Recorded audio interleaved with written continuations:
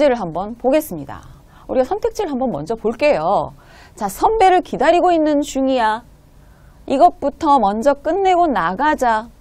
정문 앞에서 만나서 출발할 거야. 아직도 그쪽으로 갈 건데 같이 가자. 여기서 공통적인 건, 자, 어디로 간다라는 말이 나올 것 같아요. 그렇죠. 그러면 여러분 한번 듣고 일단 다시 풀어봅시다.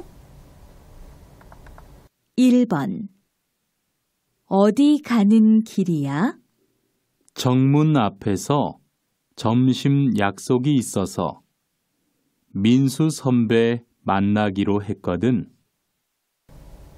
네, 들으셨죠? 어디 가는 길이야? 우리가 대본을 한번 보면서 같이 선택지와 확인을 한번 해볼까요? 어디 가는 길이야? 여자가 물었어요. 남자가 음, 정문 앞에서 학교 정문, 그죠? 이렇게 보니까 아, 학교인 걸 알 수 있어요. 정문 앞에서 점심 약속이 있어서 하고 여기서 줄였어요. 이 뒤에는 가는 길이야 라는 말이 들어있어요. 생략을 합니다. 점심 약속이 있어서 가는 길이야. 민수 선배 만나기로 했거든. 점심 약속이 민수 선배라는 거죠. 그러면 여기서 여자가 자 어디 가는 길이야 물었어요. 그럼 다시 질문을 하겠죠. 선배를 기다리고 있는 중이야?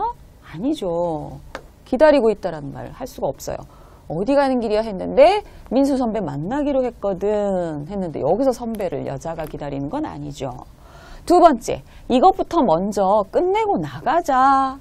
같이 가자라고 하는 말은 없었어요. 가자. 이렇게 같이 가자. 그런 말은 없었죠. 정문 앞에서 만나서 출발할 거야. 예, 여자가 만나서 출발하는 거 아니죠. 여기서 남자가 민수 선배를 만나기로 한 거예요. 그러니까 정문 앞에서 만나서 출발할 거예요. 맞지 않습니다. 마지막, 나도 그쪽으로 갈 건데 같이 가자. 여자가 한 말이죠. 여자가 물었어요. 어디 가는 길이야? 그랬더니 남자가 정문 앞에서 점심 약속이 있어서 민수 선배 만나기로 했어. 하니까 여자가 어 나도 그쪽으로 갈 건데 같이 가자.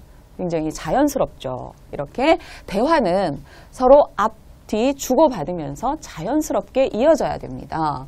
그 다음에 여러분 거든이라는 문법 표현이 나왔어요. 이 거든은 어, 내가 어떤 말을 대답할 때나 이유를 설명할 때 하거든, 그랬거든 이렇게 이야기를 합니다. 그래서 여기서 어디 가는 길이냐고 물었을 때 민수 선배 만나기로 했어 해도 되지만 했거든 하고 상대방이 묻는 말에 질문에 대답을 하는 그런 표현이 되겠습니다.